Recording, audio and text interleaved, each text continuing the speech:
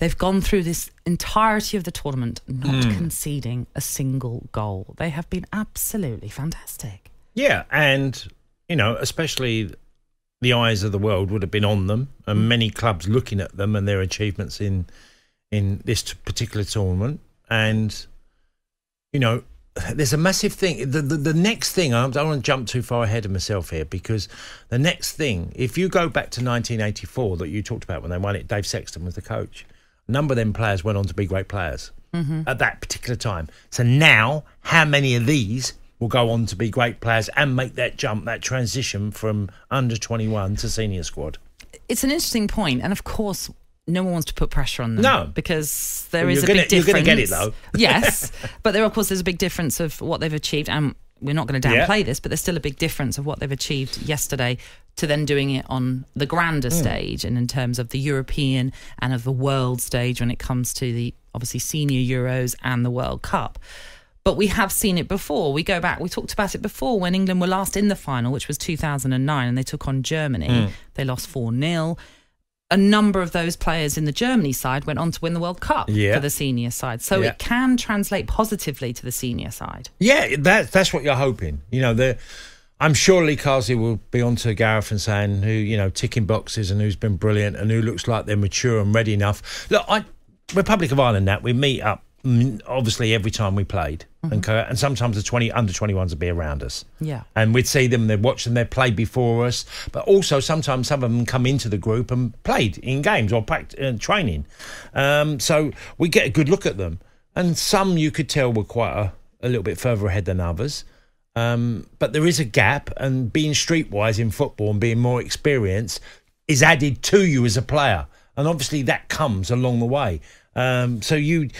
We got many a look. I mean, I saw Duff and, and, and Keane, and when they were 17, you know, um, people like Richard Dunne and, and others, Shay Given, that came into the fold from the younger element of the groups. Uh, and were they already playing for their first teams? Some of them were, yeah. I mean, there are, you know, if you, you go for even today's team, there's a, uh, Morgan Gibbs White is Well, a say, a regular lot- player. At, at Well, that's his what I was going to say. A lot of these, you look at this under 21 team, they're already household names playing Yeah, for Premier yeah. League. So you say Morgan Gibbs White, Emile Smith Rowe, Yeah, and- Anthony Gordon, Levi Colwill now has really emerged as an incredible player after his loan spell at Brighton, for example. So Yeah, well, they're prepared to pay a record fee for him. Yeah. You know, um, actually, in, Liverpool are interested as well. So could he be another one of them De Bruyne and Salah transfers that goes badly wrong for Chelsea? But yes, I'm, you know, I, I look at certain players, and, and then you could mention, well, Cole Palmer quite can't establish himself at City.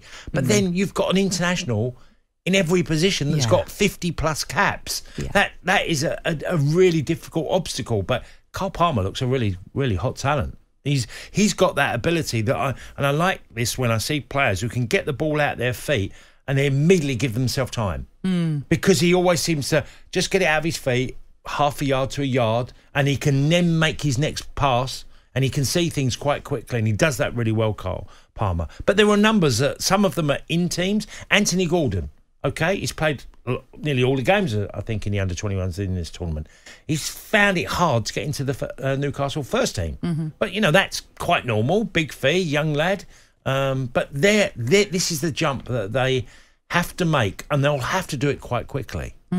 But how do you think then, and this might be a pie in the sky kind of conversation because it's quite difficult, as I mentioned, maybe to make the step up, but to have this success now for the under 21s, we've we've talked about it a lot recently about that how there does seem, especially now with Gareth Southgate at the helm, sort of a seamless transition. That's what they mm. want from all the age groups to make the step up into every age group for eventually the under 21s to then make it into the senior side should we be excited as a, as an as a nation for, from an England perspective that maybe there is some tournament that England might win as, as as a senior side because of what we're seeing in the the lower sort of levels?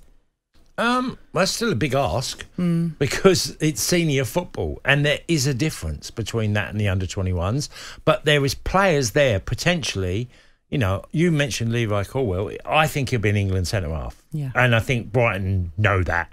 And I think they had him on loan. They're probably going, well, we will break our record fee for him because we really believe he'll be a, a starter for England within the next two or three years. They'll, they, they really believe that. That's why they're prepared to bid so hard for him uh, to take him out of Chelsea. But there will be others. You know, it's now about. I I, I sort of go back when I was 21 and how far I was behind the rest of the players. Was a long way behind them. But I realised quite quickly that every time you're put into a new position and you're having to play against better players, you have to rise to the occasion quite quickly because even in training, managers, coaches are looking at you and thinking, how's he doing against, you know, just so example, you're a winger at Chelsea and you, you play against Azpilicueta in a practice match and you do really well. You know, think of Wan-Bissaka when he was at mm. Crystal Palace when Man United paid 50 million for him. That you know everyone knew in the game and it became outside the game as well. He played against Wilf Zaha and he done really well. You know that became his trademark and then one of the reasons why so hey watched him in training, one against one, handled Wilf Zaha, which is a really tough thing to do. They're the sort of things you have to do. We've talked a lot about the team. Yeah. But obviously the team are managed by Lee Carsley. What an impact he's made since taking over in 2021 do you think the FA now have to do everything they can to continue to ensure he stays within this setup because there are links with Republic of Ireland? Mm. I mean, Stephen Kenny is still at the helm of, of Ireland, but suggestions are because of his history of having played, being a midfielder for Republic of Ireland, that maybe Lee Carsley is, is being looked at by the FAI. Well, he will be. Of course, he will be. Will will be. You know, you just have to think. How did Gareth Southgate get the England job? Okay, mm-hmm. he managed at younger levels. Yeah. Yeah. Okay, he done a great job. And uh, in, within the FA, they thought, well, we couldn't find, you know, they had Sam Allardyce come in, it didn't work out. They eventually looked at Gareth and thought, yeah, well, look, he's been doing really well with the younger under 21s and looking at the players and how they progressed. And they, they have gone, well, maybe we'll leave him in.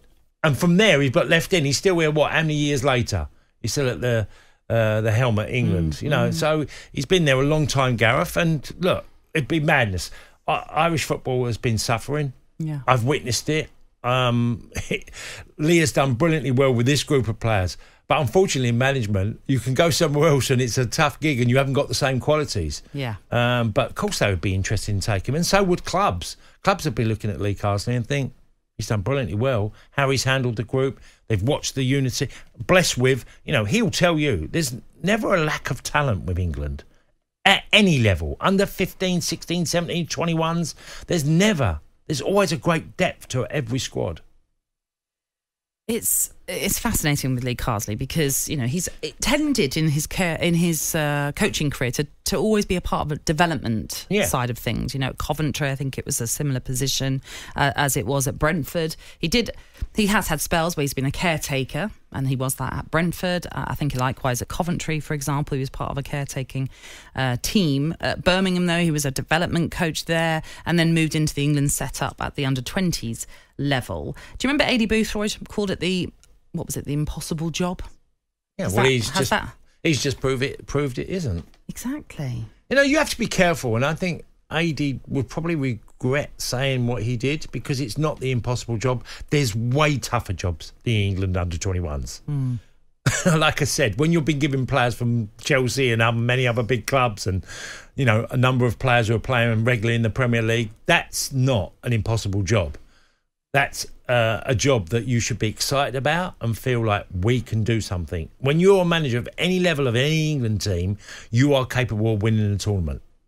Okay? And because they failed, making the excuses an impossible job, I just wouldn't agree with. It's, mm. a, it's a great job to have.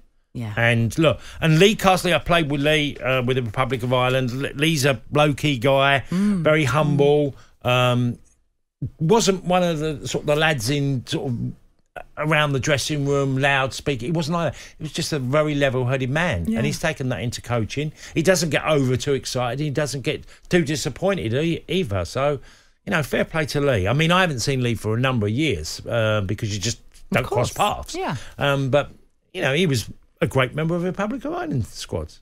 Yeah.